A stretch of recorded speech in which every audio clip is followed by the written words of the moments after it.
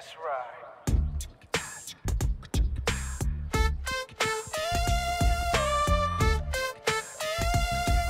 Hi guys, welcome back to the channel. Today I'm going to show you how we can fix the issue of background image not being shown when we build a website using Elementor in WordPress. So this is the website that I have or happen to own tastytrade.com and I have been building this website recently and I'm going to use this as a platform to show you how to fix the issue.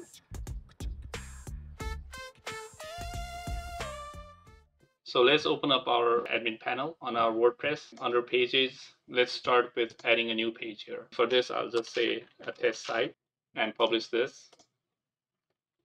Now I'm going to edit this with Elementor. So it's going to open up on Elementor. I'm also opening up another link so that I have customization window here open up. So back in the Elementor, I'm going to add a new section and I click here that adds this section here. I'm going to stretch this section to full width. Also add full width here, no gaps. Height would be minimum height and auto assign 400 for now, that's fine. Vertical to middle, that's just the way I use this setting.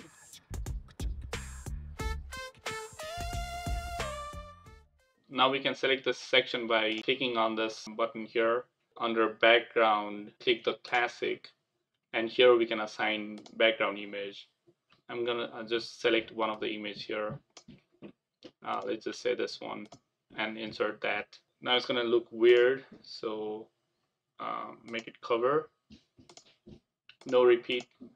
Scroll and center center. So that's my image and I'm gonna update here here. I'm also gonna add some text here so I'm just gonna drag and drop that text heading and this is the text by default. I'm not going to change anything to the text itself. Select this pen mark and then make it uh, a aligned center. Also under style I'm going to change the color to black and let's change the font.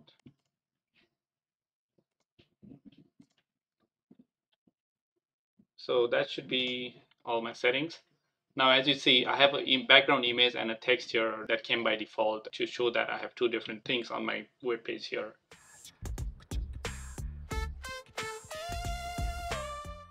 I updated this so it should be public. Now, to be able to view this on this website, I'm just gonna go back to my customization window. Under homes, homepage setting, I'm gonna change the static page from Elementor homepage to this new test site and then publish. So it should be on, on the public front now. And when I refresh this page, boom, you only see the text here. The background is gone. It's not entirely lost. It is still there, but somehow Google Chrome doesn't show this.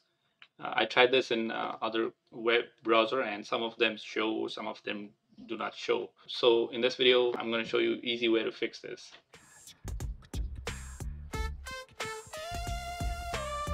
To fix that, let's just open another tab and this time I'm gonna under Elementor go to tools and go to replace URL tab. And here you see two fields and a button here. So in this new url.com field I'm just gonna paste the domain name. And in this old url.com text field I'm gonna paste the site address or the IP address of the website and paste here and replace URL now five rows are affected, hit OK, and we can go back to the public website, hit refresh, and that should give you the image here. Now one thing you have to keep in mind is as soon as you make some edit here, let's say we want to change something here. And by that, what I mean is I select this, go back here, and let's say instead of instead of cover I do contain on the sides and update this. Now that should be the public thing. When I refresh this, it's gone again. So every update you do on Elementor, you would have to go back to this tool and hit replace URL. Two updates done, hit OK. And then once you refresh after that update, it will come up again. So I hope this was useful and you learned something new today. If that's the case, then please hit the like button. Also, don't forget to share and subscribe to the channel. Hit the bell icon if you want to get notified about new contents like this. Until next time, thank you.